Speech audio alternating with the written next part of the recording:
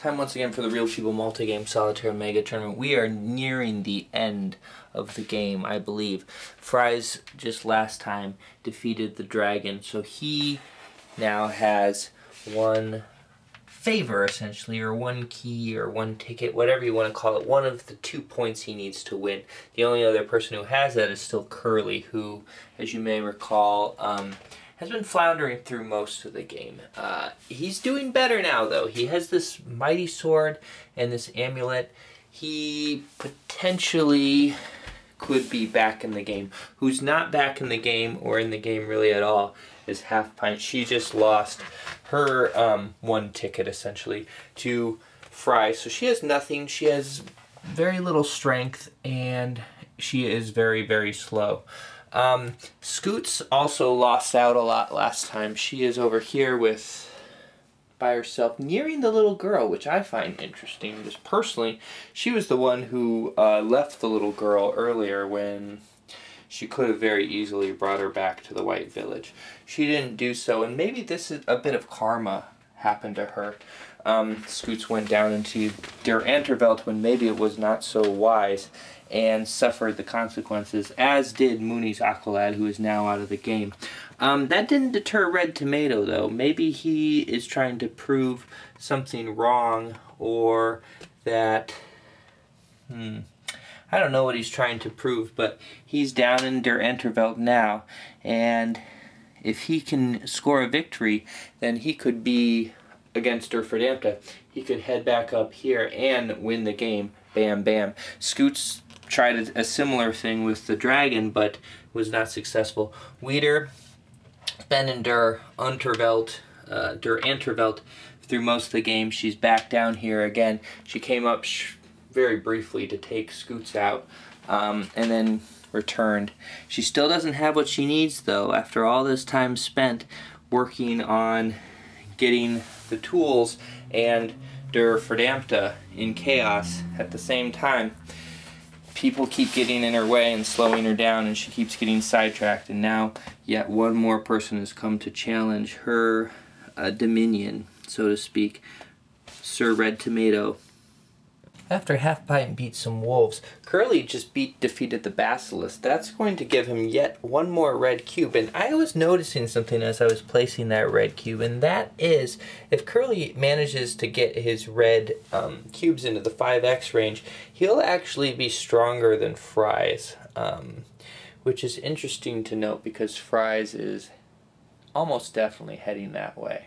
And Scoots, she has moved to the space where the little girl, the little white girl, is um, being guarded by this troll. Now, if you recall, it was Half Pint who um, was taking care of the little girl and didn't want her to um, have to encounter the Nameless with her, um, who placed the troll in charge of her. Um, Scoots is now coming back to say, I will bring you back home. Your, your days of traveling can be done if you will just come with me. The little girl is afraid of Scoots, though. Scoots was that bad lady who left her out in the woods somewhere. Um, and so the troll is going to attack. Scoots is going to use her lightning spell to try and take the troll down. She has to hit it twice. And that first time is going to go. Ooh, that was an interesting roll. Um, now, second time. Lightning. And this time she did it as well. This 1-1 balanced out all these sixes. A lot of sixes and ones. Alright, so the troll is defeated, and whether the little girl wants to or not, she's going again with Scoots. Back in Der Antervelt, uh, Red Tomato is going to roll to see if he can defeat Orion and get the right to use his bow. That's going to give him two different magic bows. If he's successful. Needs a three. What's that going to be? What's that going to be? That's not it. He's close, but not close enough. I think he got a four last time. Now it's going to be Wieder's turn. She's trying to get um, the scythe. It's called a census. I, I, I don't know the German pronunciation. Um, four dice. She needs to get a six or better. And she, once again, was not successful back up again to half pint. Half pint um, she's going to pick up the saber and then she's going to attempt to pick up the magic broom. She is one of the few people who actually has a chance of getting it, except for Scoots. Scoots is the only other person. Um, Red Tomato, the penalty is too harsh for him. Um, so we'll see. She gets three dice. Oh no, four. Uh, yeah, three dice. She has to get a three or better. And very close. That's a that's very similar to what happened to Red Tomato just now. Curly fails against the lion bear that he placed there. Fries moves south towards the teleporter to make his way clear across to the nameless. Um, Scoots has planted this counter right here. The thief. The thief has been a main source of money this game. I don't know if you've noticed that. Uh, we'll see if it'll pay off for Scoots as well. And she doesn't. Oh, she does have to use her lightning because the thief is immune to magic otherwise. And that's going to work. So Scoots gets three coins. That's going to be nice for her. She's close to um, the city of mages, so she could purchase something like, say, the Pegasus and be able to move again. Uh, if she could fly over to her magic broom, she might be back in the game. And we're going to roll off again in um, Unterwelt against the different um, weapon masters. First Orion for Sir Red Tomato. He needs a three or better on four dice. And that is difficult. As Tice so ably showed us, it's hard to get under three. Four is doable. Three seems to be nigh on impossible. It's not impossible, though, just improbable. Um, Weeder, again, needs to get a six or better. And that's to do it. So she gets the scythe back, the census that she had earlier in the game. She's to have to give up something. Um, I guess she's to give up this armor. Just drop it down here. And she's to get a hefty lead against her for Verdampta now. Half Pint gave up on getting the broomstick. That was really just because she was there. She she actually considered um, hanging out and trying to get it. The problem is, uh, with being unable to get the dragon score and being a little too weak to get past Curly and the Nameless, or a lot too weak, um, she feels like her best opportunity is down here somewhere in the dark. And she's kind of at the place, I think, in the game where she needs to be shooting in the dark. Curly continues his training in preparation for Fry's arrival. Alright, what did he get? He got enough. So he's getting very close to being a match for Fries. He is only well, he's Fries has him on armor, definitely, but he's doing what he can. And people are laying a lot of things in Fry's path. Curly led, uh, laid this, and Scoots laid this. So we'll see. Fries has got to confront his doppelganger. That means he has to fight it without any cubes. Two dice, he needs to get six or better. Um, he's actually going to go with his ranged ability. And I, I need to check to see if the doppelganger lets him use this or not. I think it's just starting starting uh, stats, so it, I think it may need to be six or better. Let me check that and I'll get back to you. Yeah, it's straight up six or better. And seven. Yikes. Well, not yikes. He's just going to lose something. What does he lose from the doppelganger? An experience cube. Fries doesn't really care about that. He'll get one off of his magic. He's got quite a lot of cubes to burn. And Scoots is uh, holding a market in the city of mages. I she did this actually once before last video, but I didn't um, end up. I cut out the footage because it was just really long and boring, and nothing really happened. Well, it wasn't boring; it was fascinating, but nothing really happened. Um, so she's got some money this time. Last time she didn't. She was just trying to sell to people and didn't really work. Um, she would like these three things. She can't afford all three of them though, so she needs to find someone who is a sucker enough to buy this clairvoyance spell. And actually, I think Curly will buy it from her. Um, and he feels like it's a good investment, actually, uh, because he is training, and he did get a counter just now that he wasn't able to use in his training. Uh, so that's just why he put it there. Um, so that's going to give her enough money to buy all of these things. And so she's going to do that. She might ditch the lyre of Orpheus. no. What? what? She can't afford all of this. Hmm. that spell, I don't know if she has to keep that in her supply or not. I don't think she does. But it gives her an extra health. So it's not an armor health, it's a natural health right there. And that'll be good. And that works well with the potion. Invisibility is interesting um, too. So let's see what she does now. Red tomatoes roll underground. Still trying to beat Orion, getting that elusive three or less. We've seen a lot of snake eyes this game though. It feels like I guess that doesn't matter. Um, three! he did it! Ooh, now it's going to be a real interesting race. So he gets the Bogen des Herkules. A special Vaff. And what can he get rid of? He is going to have to get rid of the Pegasus, I think.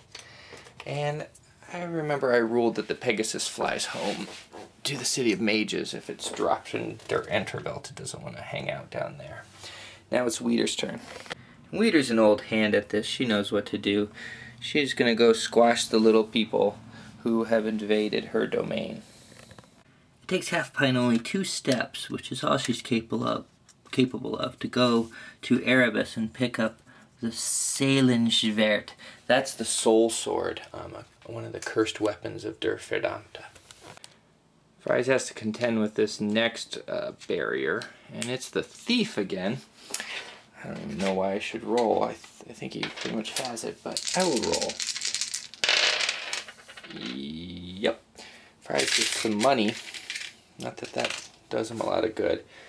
Things are just annoying Fries. Red Tomato's sitting on chaos. Next turn he can explore, and if that avatar ends up there, then Der Verdammte is going to appear right here. Uh, let's see if Weeder can get there in time. One, two, three, four. One, yeah. She, she'll be able to be there as well. Curly's trying to get his last red cube, going up against the Harpy. Um, he has a minus two, so it's gonna, he needs a six or better.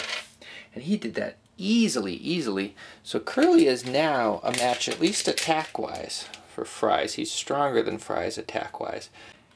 And Curly was able to lay this in Fry's path. It's like every step Fries takes, he has to fight. But he kind of likes it. He, it makes him feel strong.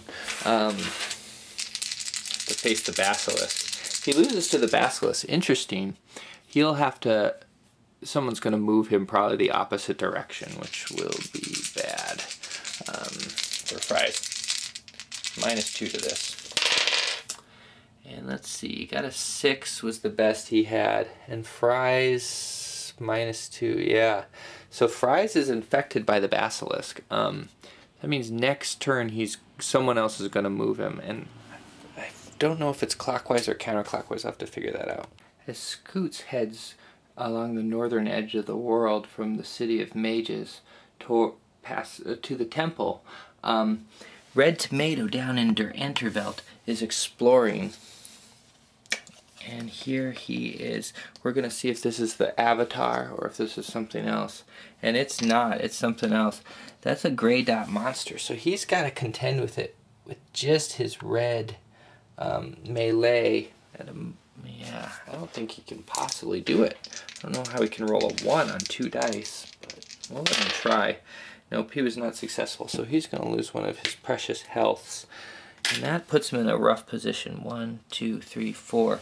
Weeder can uh, get to him now. Weeder's actually going to stop at Chaos. The reason why she doesn't want to head the extra step to get the jump on Red Tomato is twofold. One, she doesn't really want to deal with this lame E right now. Um, she would be rolling against a two, and that would be really she'd she'd just be sacrificing a life before she got to get a shot at Red Tomato. She's not sure that'd be worth it, and plus she's confident she can just wait here. And what can they really do to her? She is much stronger than than uh, Red Tomato, and she's not really even considering Half Pint much at all. Um, but you know, if, if, it came down to it, she's stronger than Half Pint as well. So it's the player on Fry's left. Um, Fries is right here. If you go left, you reach a wall. So I think that's maybe uh, Curly. Yeah, we'll say it's Curly. Curly gets to move him. I don't think anyone would move him differently. I'm not sure. I don't. If it was Scoots, I don't think she would move him differently. They're going to move him back this way. Um, which means Fries is going to have to go against the doppelganger. Uh, he can't go any further than that. So, two dice under six. And again, he lost to the doppelganger. Not a big deal. And come to her, Red Tomato does. Sir Red Tomato, I should add, he is going to attempt a duel with Weeder here. He needs to get a 9 or better, I think. He's got, what, 6, 7, 8, 9, 10. She has 12. So, yeah, that's a minus 1, 9 or better. And he did it, a 6. That's going to do it. He um, is going to take this armor of Persephone, maybe? Hmm. Where does he want to take this? Either are tantalizing. This is probably more so for him. Just kind of the way he thinks. And he's going to drop this bow on the ground. He's kind of in combat mode right now. So that's going to give him these two. And those can stack with his shield. But now it's Weeder's turn, and she's going to probably just hit right back and maybe take it right back. So she's still sitting on a 12. She's she can she can just do it. She can just take it back, can't she? Yeah. I'll roll though, just for Yep. And Half Pint's actually gonna join in. She's gonna first pick up this bow here. And I think she'll leave her bag of gold on the ground. Maybe. No, she's actually gonna leave the saber on the ground. She likes the bag of gold. And she is going to, I guess she's going to take a shot at Weeder. Um, I forgot to put this back on Weeder. Uh, so she's got a, what does she have? Six, seven, eight against Weeder's 12. So that's going to be minus two. She's got to get a six or better on two dice. And she failed. Take two, Fries versus the Basilisk. Uh, Basilisk gives him minus two. He needs a five or better on five dice here. That looks really high. Yep. Once again, the Basilisk has defeated Fries, and he is going to be confused again. And Red Tomato is not going to play this game. He's taken off one, two, three, four. That is going to bring it to Weeder's turn. Weeder is going to I think finish off half pint. Um, don't really need to roll, but she's successful. So half pint uh, drops a ton of stuff. Um, all of these things go right here. And then half pint flies away um, back to the dragon's place. She kept the bow though. And she's gonna lose all this stuff that she got. Man, people gotta learn. Don't go into Der Unterwelt, right? And again, Fries finds himself at the doppelganger. Six or better. He loses another cube. He's lost all his magic to the doppelganger. You can interpret that. Go ahead. And just to show you something, um, while Fries has been trying to get down to the teleporter to get over here, Scoots has made it just by walking with the little girl all the way over to here. Um, she could get to the Nameless. Unfortunately, she doesn't have a quest. Down in Der Unterwelt, uh, Sir Red Tomato has made it to the River Styx. Weeder is not far behind, however, she is right there, creep catching up to him. Fries against the Basilisk. Take three. Five or less. Five dice. And he did it. Fries has defeated the Basilisk. Um, so what does he get? He gets a cube, and he's going to take a green cube. And the right to progress further again. One, two, three, one, two. Two turns until he hits the teleporter. Shame on you, Scoot. So close to the White Village.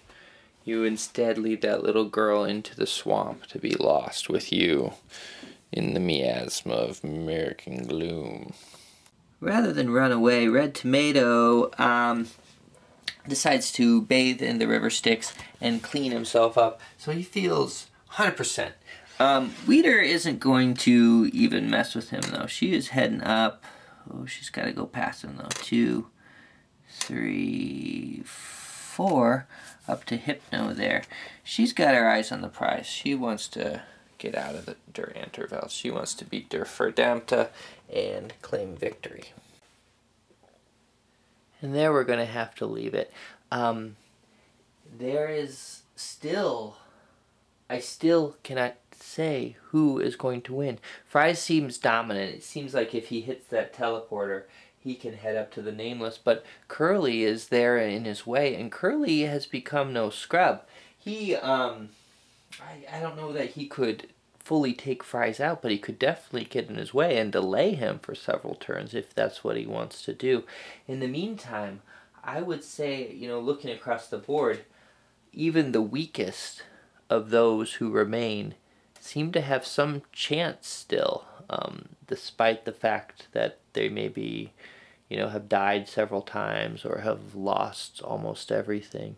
Um, I don't know. We'll see next time. Real People Multi-Game Solitaire Mega Tournament.